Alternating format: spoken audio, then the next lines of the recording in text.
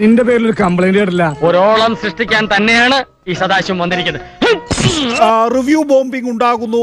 അത് negative review bombing ആണ് എന്നും അത് പണം വാങ്ങിയിട്ടാണ്. ഇപ്പൊ താങ്കൾക്കെതിരെ തന്നെ വന്നിട്ടുള്ള കേസ് തന്നെ ഏതാണ്ട് സമാനമായ വിഷയത്തിലാണ്. ആവേശം കൊണ്ട് ഓരോന്ന് വിളിച്ചു പറഞ്ഞ് തടിയേടാക്കണ്ട. അവരുടെ ജീവനോപാധി എന്നുള്ള നിലയിൽ ഇവർക്ക് പറയാനുള്ള കാര്യങ്ങൾ നിങ്ങൾക്ക് ബോധ്യമാകുന്നില്ലേ? Bad workers blame their tools എന്ന് ഇംഗ്ലീഷിൽ ഒരു ചൊല്ലുണ്ട്. അതുകൊണ്ട്? സ്വന്തം കഴിവുകേട് മറയ്ക്കാൻ ഉപകരണങ്ങളിൽ പഴിചാരുക. റിവ്യൂസ് സിനിമ ഇറങ്ങുന്നതിന് മുൻപേ ചെയ്യുന്നു. ആരാണ് ചെയ്യുന്നത്? ക്രൂസ് തന്നെ സിനിമ കാണാൻ ഫസ്റ്റ് ഡേക്ക് ഫസ്റ്റ് ഷോക്ക് കയറുന്നു. അവരുടെ ബന്ധുക്കളും സുഹൃത്തുക്കളും കയറുന്നു. എന്നിട്ട് ഇവർ തന്നെ പറയുന്നു അതിഗംഭീര ചിത്രം എന്ന്. കംപ്ലീറ്റ് കള്ളത്തരവാ. കാര്യം സത്യമാണെങ്കിലും എനിക്ക് അംഗീകരിച്ചു കൊടുക്കാൻ പറ്റുമോ? ആളുകളെ തെറ്റിദ്ധരിപ്പിക്കാൻ അവർ ചെയ്യുന്നത്. എന്റെ കാശിന് വിലയൊന്നുമില്ലേ എന്താ ഇത്? ഓക്രിത്രം പറഞ്ഞാണല്ലോ ഇടിച്ച് എല്ലായിടത്തും പിച്ചാത്തി പിടിയിട്ടുള്ള ഞാൻ. നെഗറ്റീവ് റിവ്യൂ മാത്രമല്ല പോസിറ്റീവ് ആയിട്ടുള്ള റിവ്യൂ ഇവർ. എല്ലാവരുടെ സന്തോഷത്തിലൂടെ നമ്മുടെ ഞമ്മന് എന്തെങ്കിലുമൊക്കെ വേണ്ടേ? നേരത്തെ ശ്രീ സുരേഷ് കുമാർ പറഞ്ഞത് മാർവാടിയുടെ അടുത്ത് നിന്ന് കടം വാങ്ങിച്ചിട്ടാണ് സിനിമ പ്രൊഡ്യൂസ് ചെയ്യുന്നത്. എന്തിനിങ്ങനെ പ്രൊഡ്യൂസ് ചെയ്യുന്നത്? ഇതിന്റെ ആവശ്യം എന്താണ്? ആ ചോദിക്കേ. പിന്നെ നിങ്ങൾ എന്തിനാണ് പണം കടമെടുത്ത് സിനിമ എടുക്കുന്നതെന്നൊക്കെ ചോദിക്കാൻ നമ്മളാരാണ്? അല്ല അങ്ങനെയാണെങ്കിൽ എന്റെ അടുത്തും ചോദിക്കാൻ പാടില്ല. നിങ്ങൾ എന്തിനാണ് ആദ്യത്തെ ദിവസം റിവ്യൂ ചെയ്യുന്നത്? എന്റെ അടുത്തും ചോദിക്കാൻ പാടില്ല. അത് എന്റെ സ്വാതന്ത്ര്യമാണ്. എന്നോട് ചോദിക്കാൻ പാടില്ല. അയ്യോ അങ്ങനെ പറഞ്ഞൂടാ. പിന്നെ ഞാൻ എന്തിനു വന്ന? ഇവിടെ എത്ര സിനിമകൾ വിജയിക്കുന്നുണ്ട്. ആ സിനിമകളൊക്കെ വിജയിച്ചത് ഈ റിവ്യൂസ് നശിപ്പിച്ചിട്ടാണോ? അങ്ങനെ പറഞ്ഞു അങ്ങനെയാണെങ്കിൽ വിജയിച്ച സിനിമകളുടെ ക്രെഡിറ്റ് മുഴുവൻ തരട്ടെ റിവ്യൂസിന് തരട്ടെ.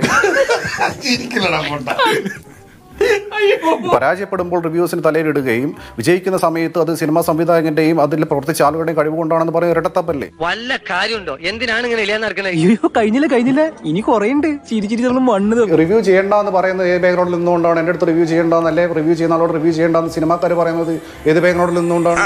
ഉത്തരം പറ. അത് ആ പറങ്ങട് റിവ്യൂ ചെയ്യണ്ട എന്ന് സിനിമാക്കാർ പറഞ്ഞു? ഏഴ് ദിവസമെങ്കിലും വേണം എന്നുള്ളതാണ് ഒന്ന് അവരുടെ ആവശ്യം എന്ന് പറയുന്നത് അത് നടക്കില്ല. ഏഴ് ദിവസം വരെ കാത്തിരിക്കാൻ സാധ്യമല്ല. കാരണം അത്രയും ദിവസം കാത്തിരുന്ന സിനിമ ഉണ്ടാവില്ല തിയേറ്ററിൽ അതെ. ഇത്രയും ജനങ്ങൾക്കിടയിലേക്ക് നമ്മളൊരു സാധനം മുന്നോട്ട് വെക്കുന്ന സമയത്ത് അതിൽ പലതരത്തിലുള്ള അഭിപ്രായങ്ങൾ വരും. എന്താ ശരിയല്ല മാവ? അതിനെ ഉൾക്കൊണ്ടുകൊണ്ട് അത്രയും മാനസികമായിട്ട് പിന്നെ അതിനെ നേരിടാൻ തയ്യാറായിട്ടുള്ളവർ മാത്രം സിനിമയിലേക്ക് വന്നാൽ മതി. കാരണം അല്ലാത്ത ആളുകൾ പറ്റിയ മേഖലയല്ല സിനിമ എന്ന് പറയുന്നത്. സോഫ്റ്റ് ആയിട്ടുള്ള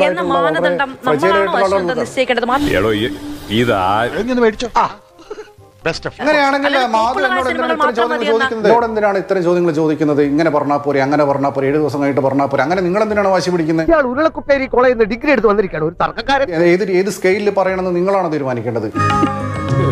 കോട്ടയ സാരല്ല ഞാൻ മാത്രമേ കണ്ടുള്ളൂ. ഇനി ഇവിടെ നിന്ന് അഴിവണ്ടാവാ നമുക്ക് അങ്ങോട്ട് മാറിയിക്കാം അപ്പൊ ഞാൻ പോട്ടെ.